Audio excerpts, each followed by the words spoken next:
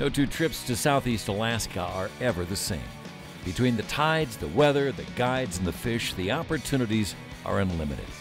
This week on Alaska's Fishing Paradise, join Captains Albert Howard and Doug McQuilliam as they give their guests a few new experiences in fishing.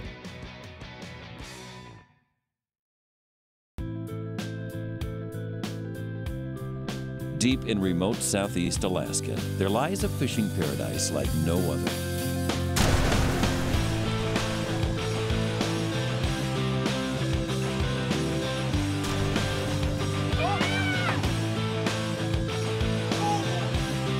Big fish.